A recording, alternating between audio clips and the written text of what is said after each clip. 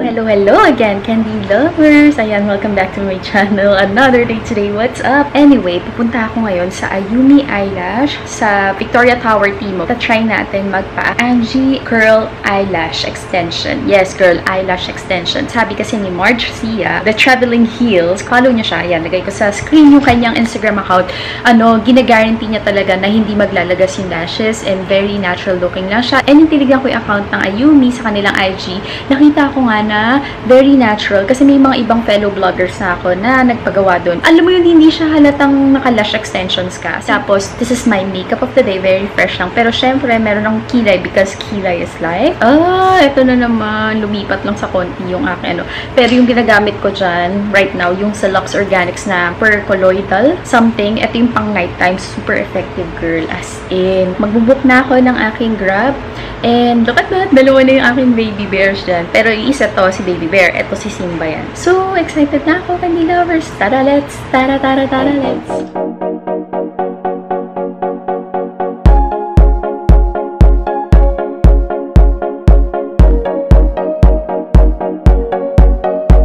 Ayan, candy lovers, nandito na tayo sa Ayunis Salon. So, start na tayo sa ating eyelash extensions. Anong suggestion mo, Sheila, when it comes to the length? Ah, yung gagamitin natin na length, ma'am, size 11 kasi sakto lang siya sa ano sa lashes mo, ma'am. Mm-mm. Kasi pagka medyo mahaba ilalagay natin, baka sobrang mabangga naman siya dito sa ano. Pilik mata na, ano? So, ano pinagkaiba ng 5D na sinasabi mo Sa sa Ange. Yung Ange curl po kasi ililip mo na yung lash mo, saka lalagyan ng extension. Ah, Apo. Yung okay. 5D po, ano lang siya, i, sa isang real lash, limang piraso yung ikakamot. Okay. Volume na po yung 5D, but natural look lang po yung curl. Yun pala yung pinagkaiba nun. So, excited na ako. So, ito ulit ang aking before. Wala akong nilagay na mascara dyan. What's your name? Reina po, ma'am. Siya yung gagawa sa Reina. Hi. So,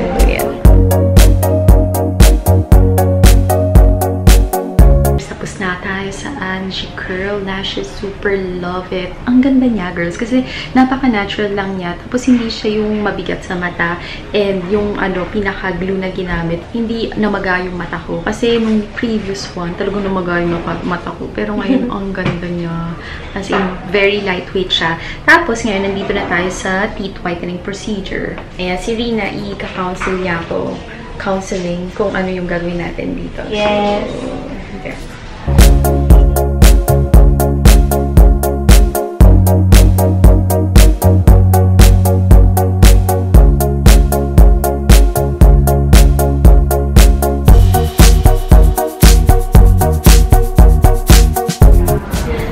Tapos, over here, yan. Ang cute, diba? Oh, may, meron pa tayo dito. Tapos, nandito yung pang teeth whitening nila. Open natin. Tanan! Ganyan siya. Tapos, ito yung bathroom. Tanan! Ang ganda rin ng bathroom nila, diba? Thank you so much! Thank you! Ayan, Ayumi. Ay, ang ganda, oh, pak. Hi po! Punta na po kayo dito sa Ayumi Eyelash Extension. Dito po sa QC, TUF. Ano po yung mga services namin? Meron po kaming eyelash extension, nails, waxing, and massage. Massage! Tsaka teeth whitening, Yes po, meron right? And look at this, girl. Naka-eyelash Yes extension po, siya. Ang naman. ganda, di ba?